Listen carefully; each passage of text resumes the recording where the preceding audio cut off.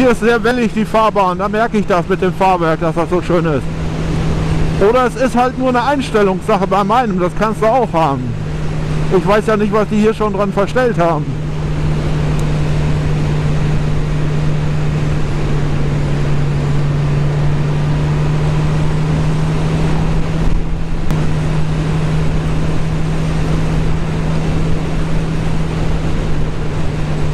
Jetzt leuchtet das Licht blau. Warum, weiß der Kuckuck.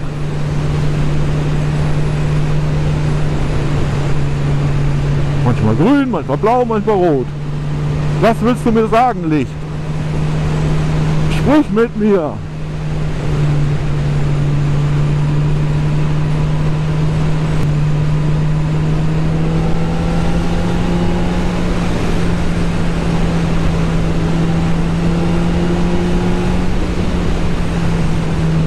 Man muss bedenken, ich fahre hier auch 20 Kilo weniger durch die Gegend.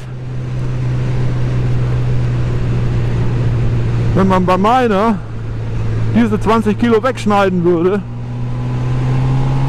Sound ist gut, dann äh, wäre die auch noch ein bisschen agiler, würde sie einem agiler vorkommen. Die merkt man, 20 Kilo ist nicht wenig.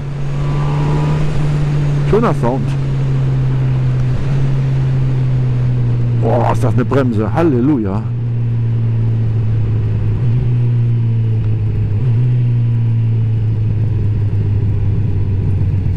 Nicht schlechter Auspuff. Kein Grund, den zu wechseln.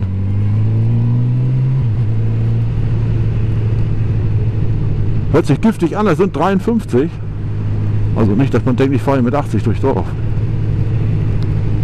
Ja, da merkt man die 20 Kilo.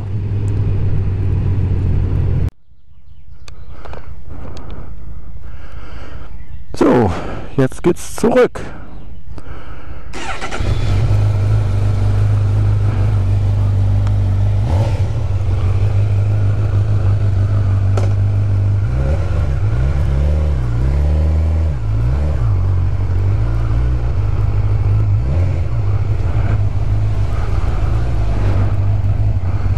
Manni fährt mit.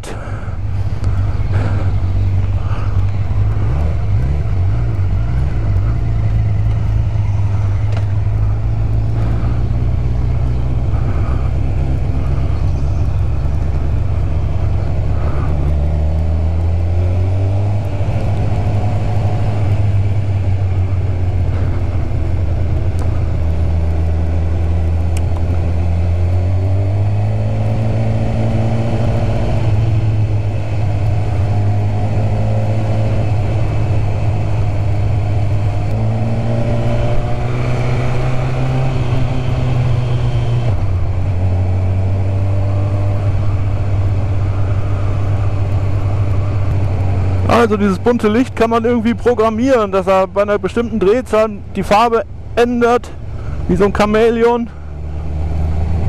Und beispielsweise sagt, jetzt schalte mal, dann sparst du Sprit. Dafür ist das. Was mir negativ aufgefallen ist, ist, äh, wenn man steht und will den Seitenständer runterklappen, Da ist der Nippel, den man da betätigen muss für den Seitenständer, der ist genau unter dem Angstnippel von, von der Fußraste. Das heißt, da muss man ein bisschen zirkeln. Das ist Gewohnheitssache. Das funktioniert bei meiner einfacher. Man hat die Rasten scheinbar verlegt oder den Seitenständer verlegt.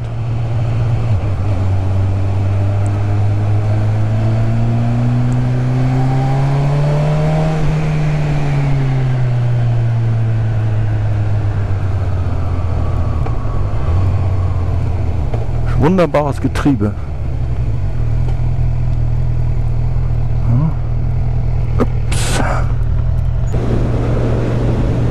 So, jetzt bin ich mal gespannt,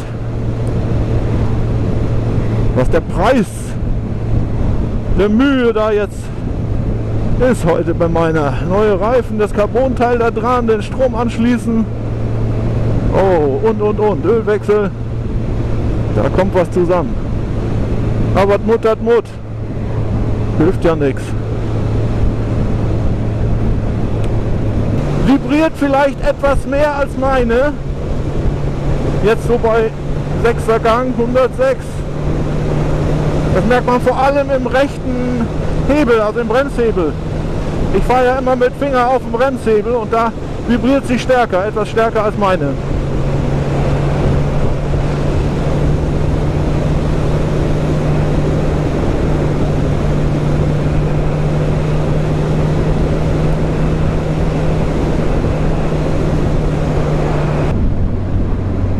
Ja, das ist alles Geschmackssache, sowas.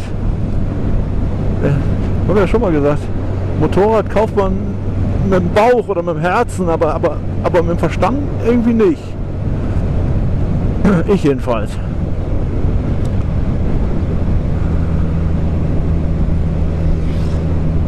Und ich weiß nicht, ob ich das da schön finden soll, das Mäusekino.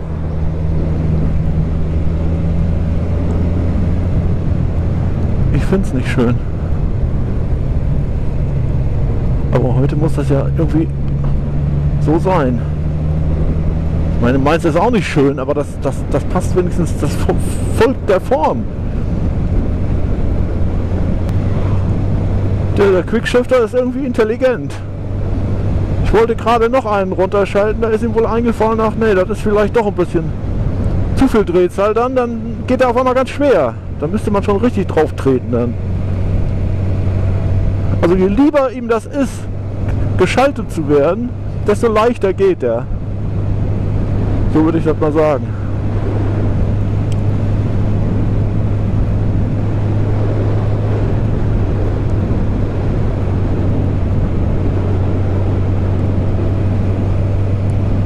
Sehen, was er sagt, wenn ich jetzt den fünften gehe. Oh, das mag er auch. Er will ja Sprit sparen.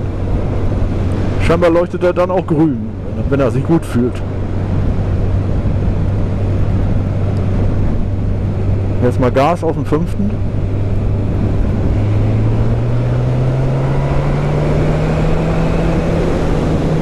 Mein lieber Schwan. So. Das ist Standardmodus. Ich gehe mal wieder auf Sport. Jo.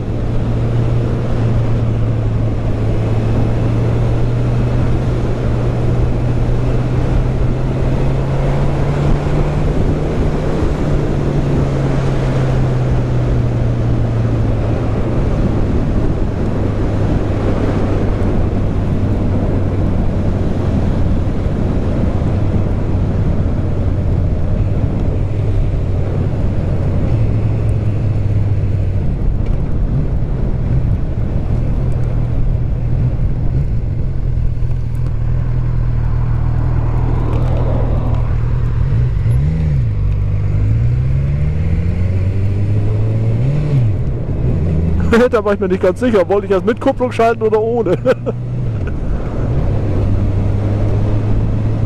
oh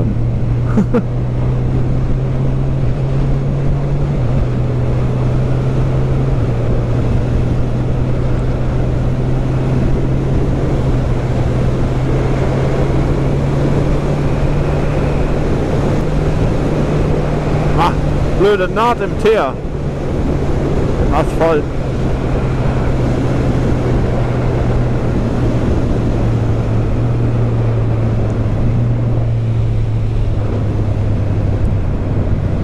Schalthebel liegt anders als bei meiner, deswegen treffe ich ihn manchmal nicht so richtig.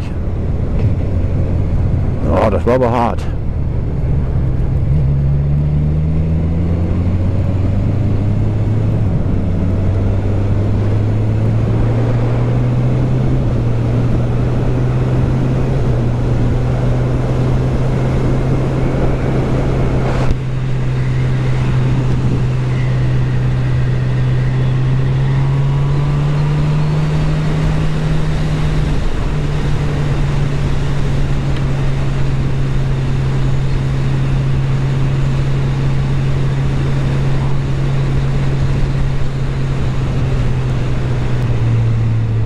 Das Gefühl, den Drehzahlmesser haben die so konstruiert, dass er eigentlich überflüssig ist.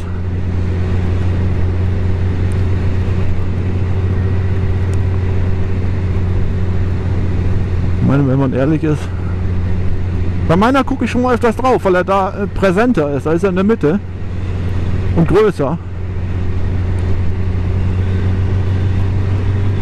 Aber hier äh, verleitet gar nichts dazu hinzugucken. Man guckt viel lieber auf den Tacho oder muss ja auch auf den Tacho gucken. Oder auf die Ganganzeige.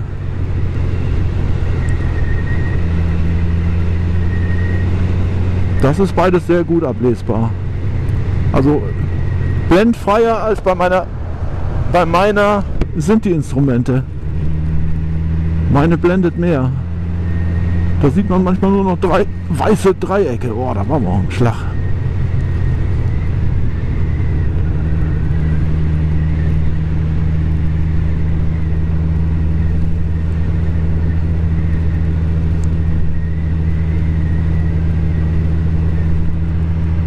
So. Im nächsten Dorf müssen wir abbiegen.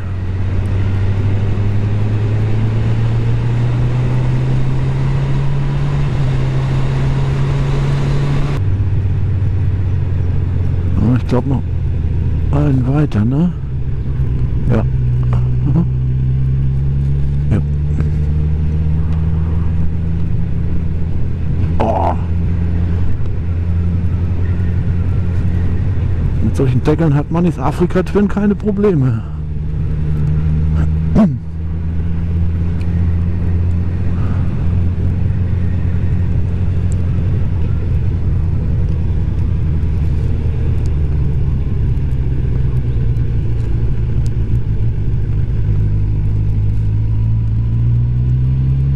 Sehr elastisch der Motor, kann man nicht meckern.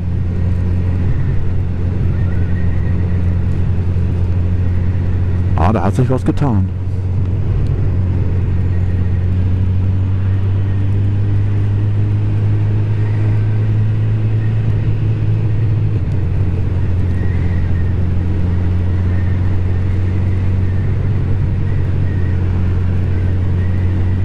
Kommt eine ellenlange Gerade.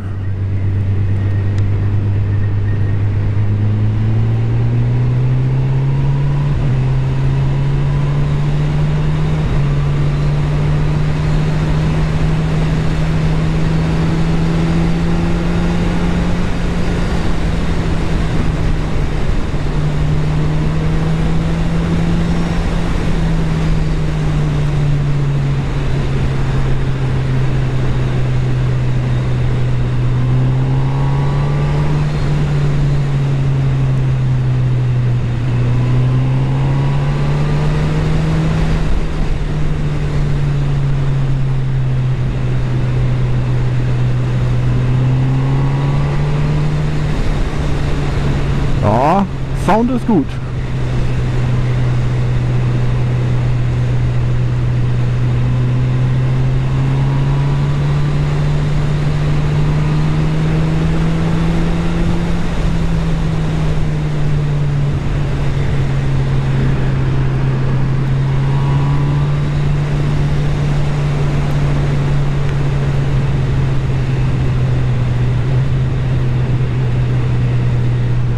Da müssen wir links ab.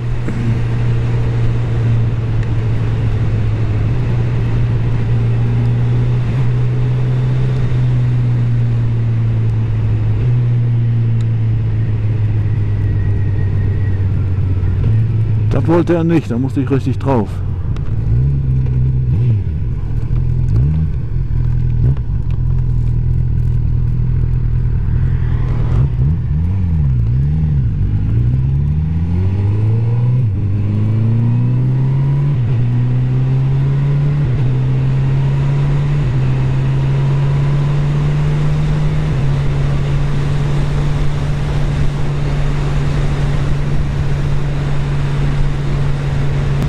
Heute Morgen hat es wenigstens schon mal geregnet.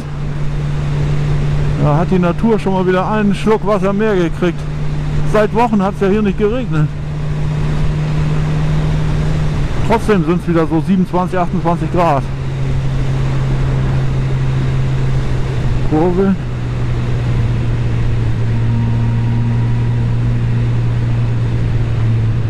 Zieht sich so zu hier hinten.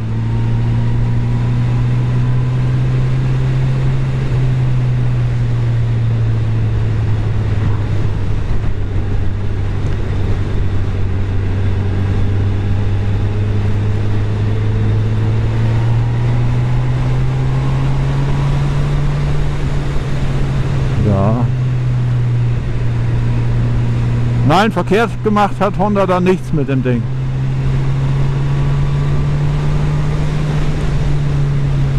Ich hätte vielleicht einen anderen Designer genommen, der das Ganze nicht so auf Retro gemacht hätte. Denn futuristisch war ja meine eigentlich. Und das hier ist ja wieder Retro. Da kannst du dich nur mit dem Karo-Hemd draufsetzen.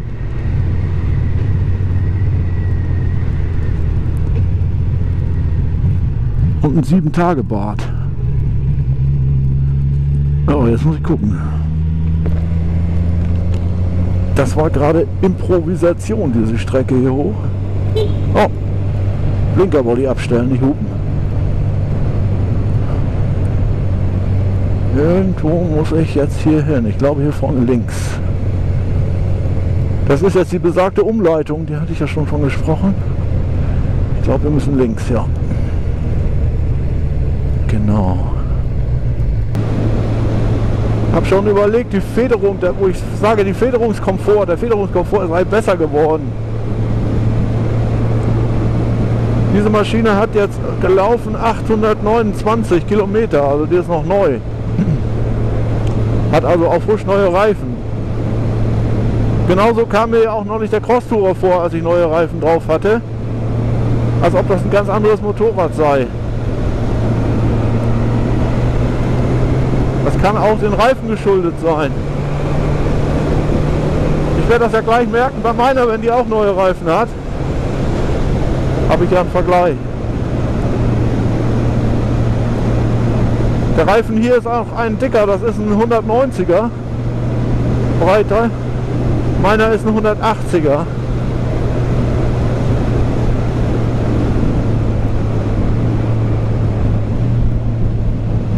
Ja, U2, da ist es doch. Genau.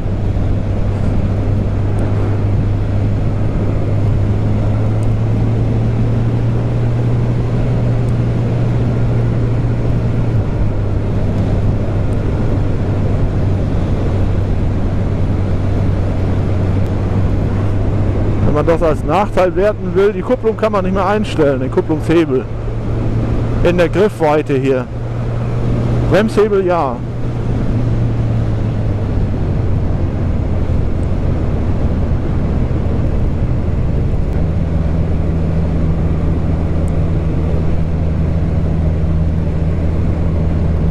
Ausweichen kinderleicht.